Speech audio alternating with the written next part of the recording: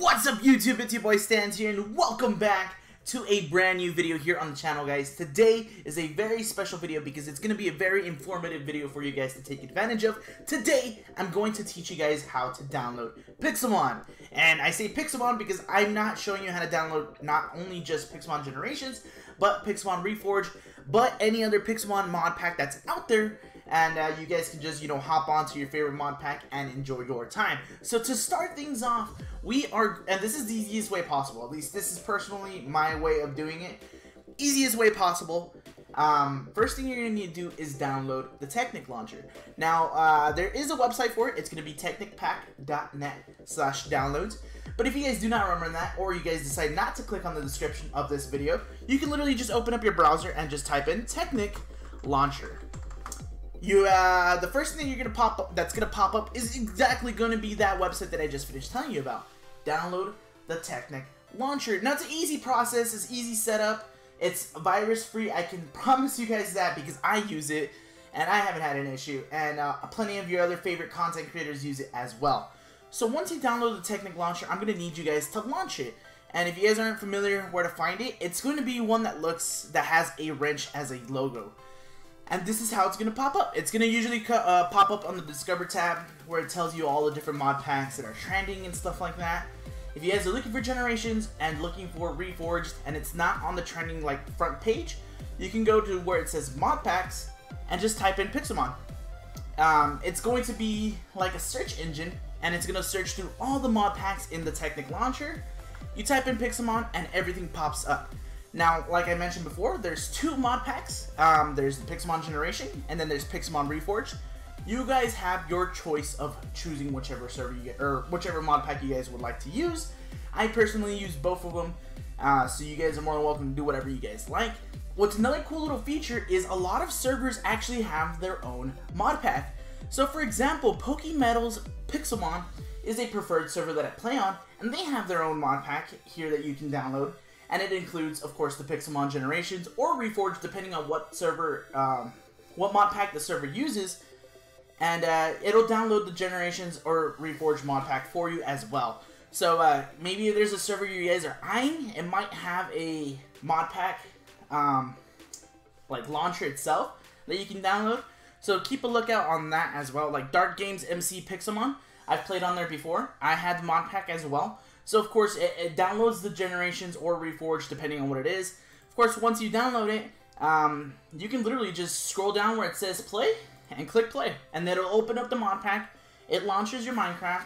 If your Minecraft isn't linked to uh, Pixelmon Generations or, or isn't linked to Technic Launcher, of course, you log in. And then, of course, the mod pack opens up. Now, another thing that I'm going to show you guys uh, as my mod pack loads up is uh, sometimes and a lot of the times uh, people have an issue with like their game crashing when it's your first time downloading the mod pack and it's just not working perfectly or not working right for you. It's usually going to be a RAM issue. Um, I have nine uh, gigs of RAM allocated for this mod pack. Uh, you really only need about three or four, and I think um, eight is just like the perfect number for me. But let me go and show you guys how you guys would go about that. So, uh, say for example you're having that issue where you keep getting kicked for no reason. It's your first time using it. You're gonna go to where it says mod pack options. You click on that, and uh, you're gonna see you know you're using the latest version. You you know what's going on. Cool, that's great. Now you're gonna go to launcher options, and you click on that. You're gonna head over to your Java settings. Your Java settings should have pretty much what you're looking for um, with the allocating the memory and stuff like that. I have 8 gigabytes, like I just mentioned. But the thing is, when you first download this, it usually only gives you about one, one gigabyte. And it's not really, there's not really room for you to change it to anything else. That's usually because the Java version that you have is not the 64-bit, which is the one that works pretty smoothly with the Technic Launcher and the mod packs. So now, I'm to have to have you guys download the Java version. So what we're going to do is we're to head to Java, and once we head to Java, I'm to actually have the website for you guys to take a look at because it's a little like you have to dig for it to try to figure out exactly where the specific one that you're looking for is at. But what we're looking for is the Windows Offline 64-bit. When you highlight over it, it says download Java software for Windows 64-bit. And of course, once you click it, you get yourself the little setup icon, which I have down here. And I'm not going to set it up because I have it already, but the website's going to be java.com. And then uh, once you head over here, you can just go through the download and try to dig for it to find it. But of course, I have the actual website for you guys to use. So I take advantage, uh, I'd have you guys take advantage of using the link that I already provide for you. And again, this is coming straight for Java, so it's going to be exactly what you're looking for.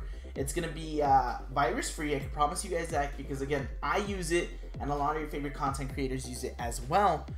Uh, and then once you download this, you should be able to go back over to your Technic launcher, and you restart your, your Technic launcher. Of course, you're going to have to close it off and open it back up just so that, you know, it updates knowing that you have the 64-bit. Head back over to your launcher, and then look at the Java settings and now it should have the 64-bit for you. Once the 64-bit is there, you can allocate the uh, the RAM memory to whatever you guys would like, depending on what your computer provides for you guys. So, for example, mine can go all the way up to 15, but of course, I'm very comfortable at where 8 is at. Now, you should be totally perfect to, you know, at this point, hop onto any server that you guys would like to start playing a lot of the uh, well, a little neat feature that both Reforged and Generations has is when you open up the mod pack, you click multiplayer. There is actually plenty of servers already provided for you guys for you guys to check out.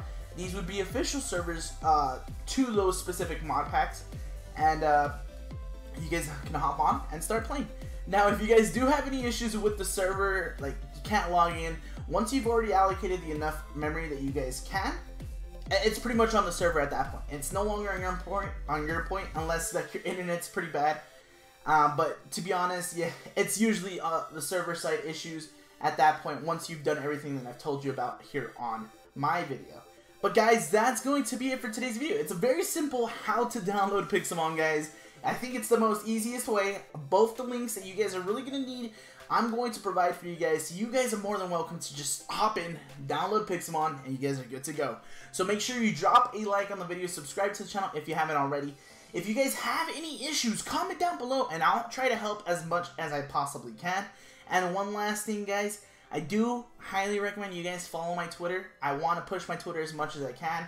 I tweet on there almost every single day, if not every single day. And if you guys just want to talk to me, it's an easy way to get to me and just talk about different things um, be whatever pop culture, anything like that. It's easy way to do it. So I'll see you guys on Twitter. Thanks for everything, guys. I hope you enjoyed. See you guys later. Peace.